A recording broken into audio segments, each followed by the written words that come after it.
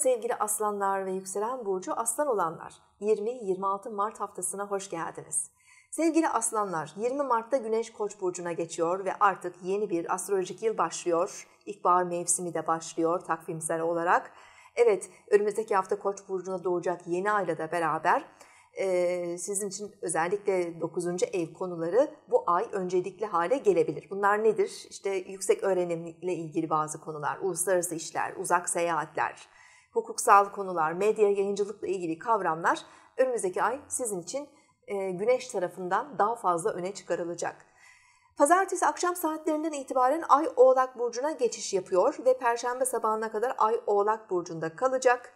E, iş yoğunluğunuz biraz artabilir bu hafta. E, işle ilgili koşturmacalar olabilir, sorumluluklar, iş ve meslekle bağlantılı bazı yazışmalar, görüşmeler olabilir.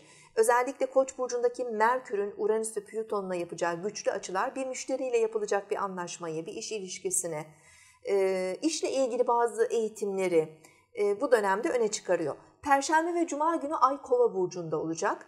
E, ilişkilerinize daha fazla odaklanacaksınız. Eşiniz ve partneriniz sizin için öncelikli hale gelebilir ve onun isteklerine odaklanabilirsiniz. Hafta sonunda ise Ay Balık burcunda daha ruhsal ve mistik etkiler var. Biraz içe dönük olabilirsiniz e, gizli ve bilinmeyen konulara ilginiz artabilir. Bu alanda bazı araştırmalar yapabilir.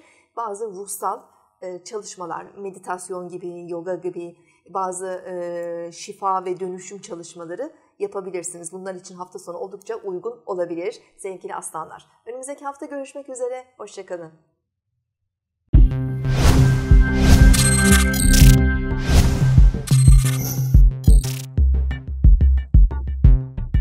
Bu akşam seminerimizi canlı olarak mobil uygulamamız üzerinden yapıyoruz.